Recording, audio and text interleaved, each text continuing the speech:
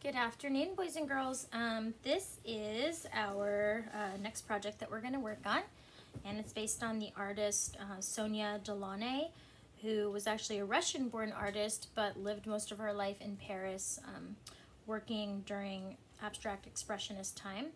So her style was called geometric abstraction, and we are going to mimic her style in our first painting, which will be done with watercolor. Um, however, if you don't have watercolor, you can always use markers. Um, that would be fine as well. So let's talk about your materials. You'll need some, sorry, you'll need a piece of white paper and you'll need a pencil and an eraser and you'll need um, a black Sharpie, a black either thin or, or normal, normal size Sharpie, a paintbrush, watercolor paint, you will also need a series of items that you can trace around for circles and half circles. So for example, I have a protractor, I have um, a lid from a mason jar, I have a lid from a tennis ball container, I have a lid from a bottle of paint, I have a little bowl that's also round, and I have a pail that I can either use this side to trace the circle or this side to trace the circle. So these are the items you are going to need in addition to a ruler, okay? So that is what we're going to use for today's project. Now, you can follow me exactly as I do it, or you can just watch and follow along, but change things up a little bit as long as you're following the concepts that she has here, which is circles, half circles, lines, and then when it's time to actually paint it in, you can see that just because one side is one color doesn't mean that it continues on the other side. So there's sort of this breaking up of sections that's created by the way that she does color, okay? So let's go ahead and start working on this. So you want your piece of paper to be lengthwise and the piece of paper can be whatever size you have. So I'm using a standard um, printer size piece of paper, but because if you're going to use watercolor, you wanna make sure that you have thicker paper. So thick white construction paper is fine, or uh, cardstock would be fine, or just thicker uh, mixed media paper would also be fine. But if all you have is printer paper, might be a little bit hard to paint on that because it's pretty thin. Um, so you might want to go with marker, uh, unless maybe you like glued or taped several sheets of paper together that were thin, that could, that could also work. All right, so let's get started. Okay, so first thing I'm gonna do is I'm going to use my ruler to create sort of a dramatic sweeping triangle to start. Kind of a triangle. So I'm gonna start kind of going across my paper at a diagonal with the tip of that triangle shape being at the top end of the paper and the base of the triangle being at the bottom end of the paper. Sorry, that was my little AC. Okay, so I'm going to hold my ruler in place and draw a line that goes all the way from the top to the bottom. And then I'm going to change my ruler over to this side. And this time I'm not going to take it all the way to the bottom of the paper just so that I have a little variety. I'm gonna put this diagonal to where it ends on the right side of the paper. So now I've got um, sort of this, you know, angular shape. I will not use my ruler again for a little while. Now I'm gonna start adding my shapes. Okay, so I'm gonna start in here using this protractor and I'm going to hold it in place and trace around it like that. And then I'm going to also come over here and sometimes I'm going to use the inside of the protractor. So see how I'm lining the inside section up with the inside of the actual protractor so that now my curve can be on that line and the curve is on this line. And then in order to do sort of a repeat of the protractor, I have to kind of move this up a little bit like this, but I'm not gonna go all the way because if I go all the way, it'll be way too narrow here on the sides and I'm trying to keep it fairly uniform throughout. So I'm gonna add my own lines like that. And then I can take, let's see, I can take this tennis container lid. Now, these are the things I found laying around my house to help me create my circles. But you guys can definitely, whatever you find that will help you create circles. So that can be, you know, little plates, um, circular coasters, um, caps, bottle caps, school supply caps, cups, jars, anything you have that, you know, has a circular base, like this bottle here has a circular base, this little glue bottle has a little circular base, anything like that will work. So you don't have to have the same exact stuff as me, you just have to try to have some similar things as me. So I'm gonna put my bowl there and just pay attention, like sometimes it's good to stand over something so that you can actually um, make sure you kind of have it balanced out with what's happening. So notice how this time I allowed my bowl to go all the way around, but for you know some of my pieces I just did half circles. So it's kind of creating this deconstructed thing that's happening. And then I'm gonna come over here and come up here and add this portion. And do you see how that overlaps that? And then I can come in here and on the inside of this cap, but I'm not gonna go all the way to the other side. I'm gonna stop there.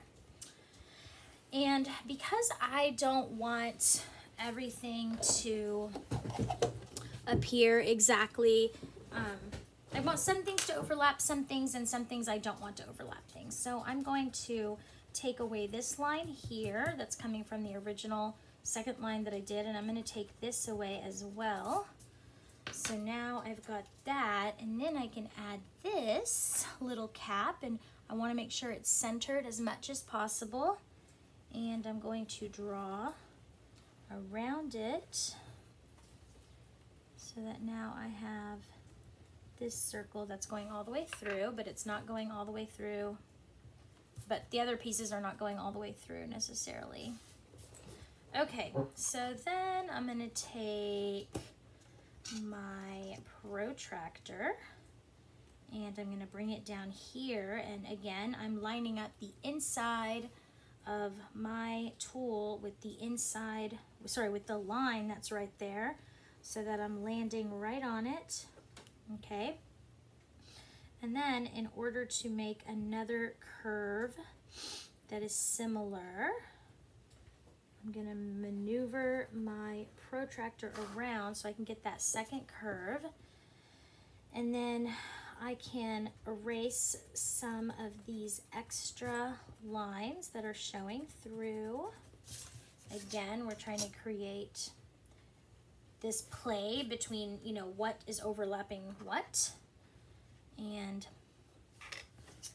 ideally, we're gonna end up with something that looks, you know, that has some illusions that are happening and some interesting layering.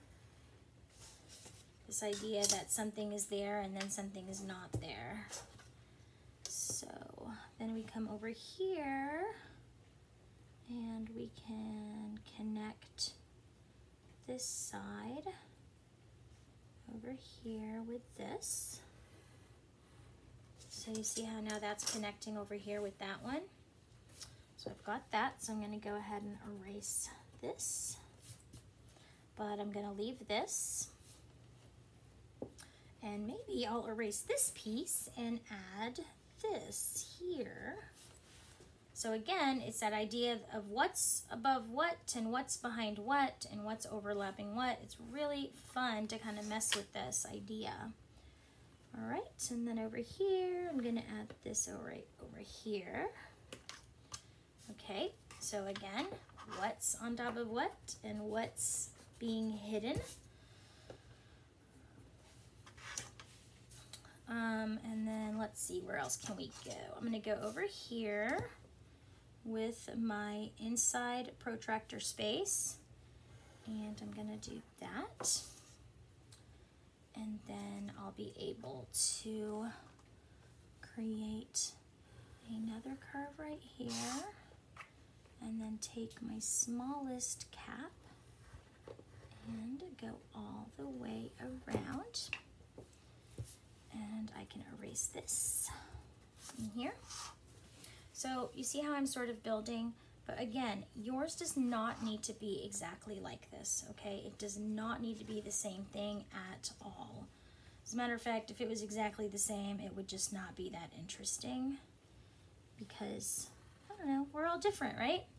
So we're gonna go over this like that.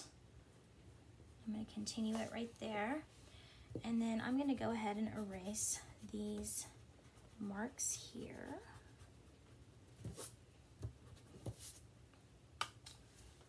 And once I am satisfied with my composition, I may choose to add a few more details. Again, I'm just tracing with my circular tools or circular objects that I have found around my house to help.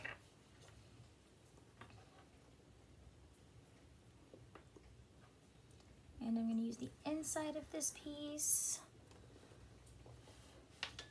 And you can see how I've created this kind of interesting composition that is similar in the style of Sonia Delaunay.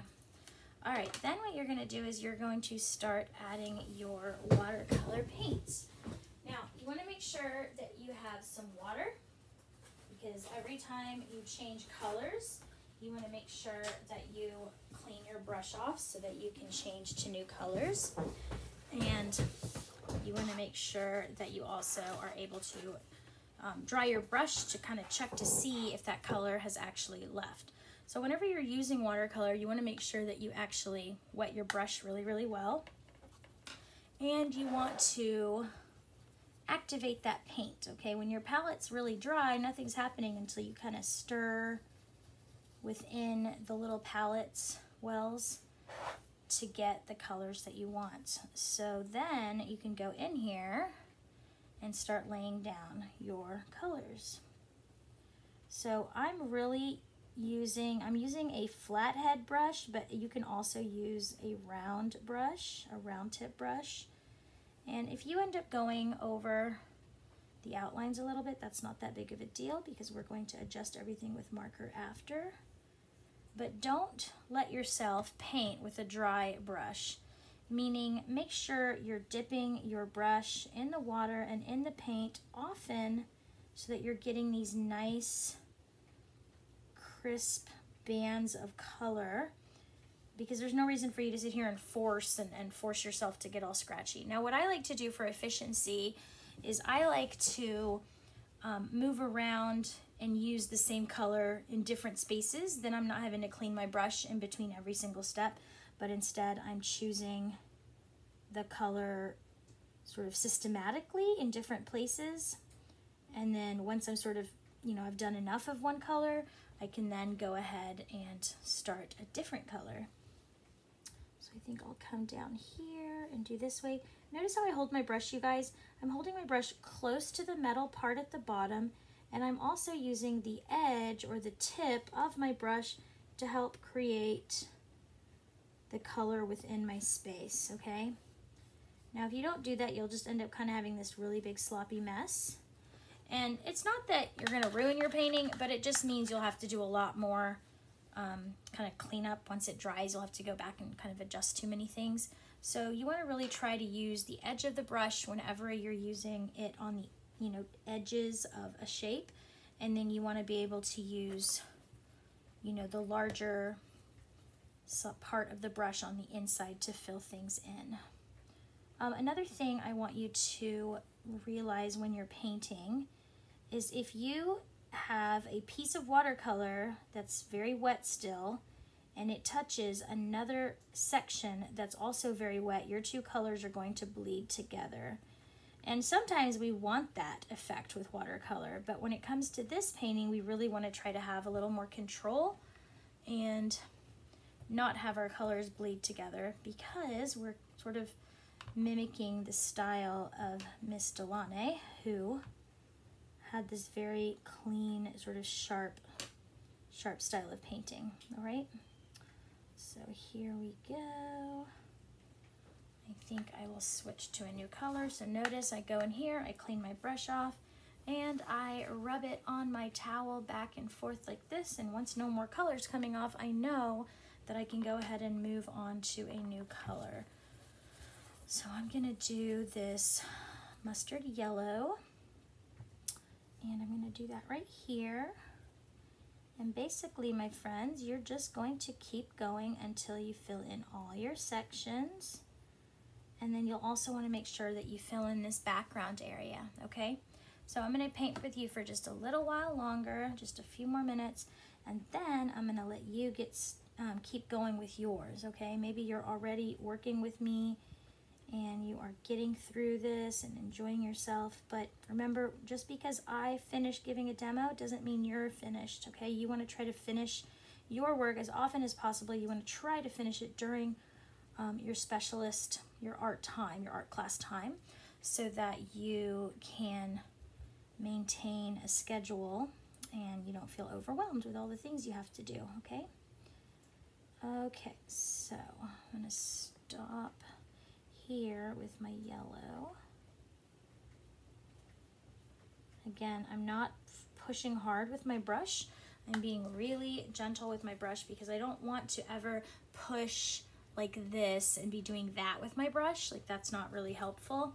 So you want to try as much as possible to use the tip or the head of that brush um, for clean edges and then you want to try to use the wider part of the brush to actually fill in, but at no point am I ever like pushing down and applying a bunch of pressure to my brush because that will just ruin your brush and it will actually not serve you as far as the way you're trying to paint.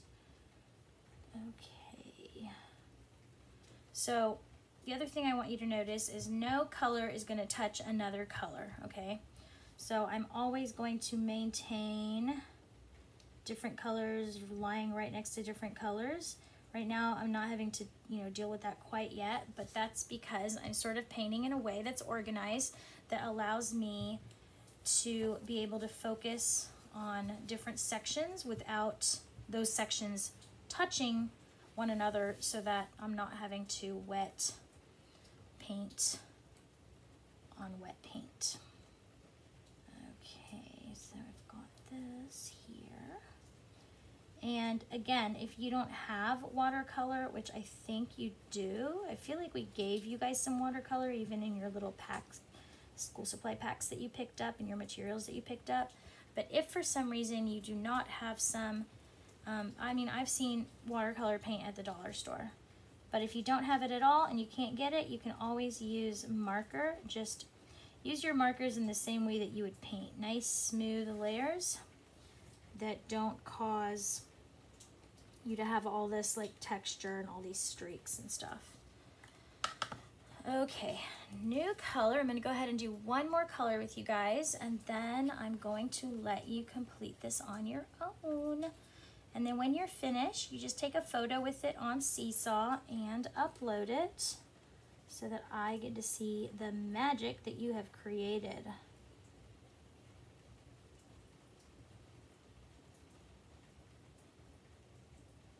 See how slowly I'm going on those edges. I'm really taking my time when I get to those edges to have a very clean, to have a really clean edge, right? So yeah, you have to take it slow. This isn't the kind of painting where you're gonna like go super fast. Um, so take your time and build your colors slowly so that you're happy with your results. Okay, so this is what you're going to work on and when it's finished, it's going to be completely filled with color and remember that just because something starts on this side of that line doesn't mean it needs to be the same color on the other side. The idea is to kind of deconstruct your shapes, okay? So take apart those shapes so they're not the same on both sides. I am so excited to see what you guys make. I can't wait to see what you do. I hope you enjoy this project and have a great time. And I look forward to seeing you guys soon. Love you guys. Bye.